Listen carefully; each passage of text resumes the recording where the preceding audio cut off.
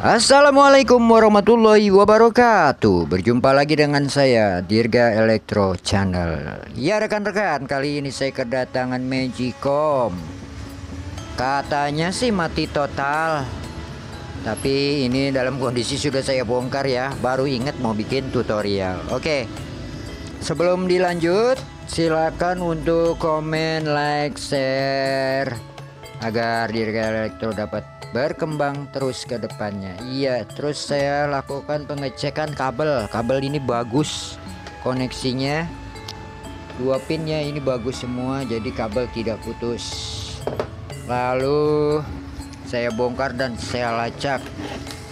Ternyata di pin ini ah di pin yang ini kan ada termofuse ya fuse thermal.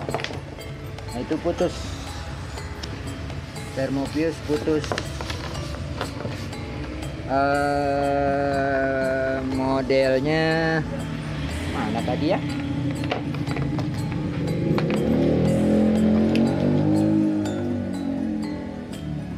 Oke akhirnya termobius itu saya tidak ganti. Cuma saya jumper jumper jalur termobius ke pin ini ya. Ke pin ke uh, termofuse saya jumper ke pin ini ya nih. Pin larinya ke elemen. Nah ini nih elemen langsung.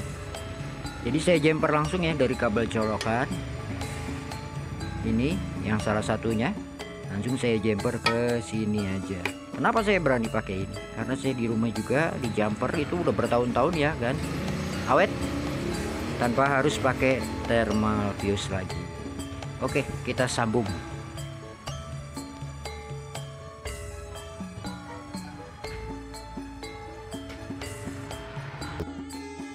Iya, uh, ini sudah saya sambung.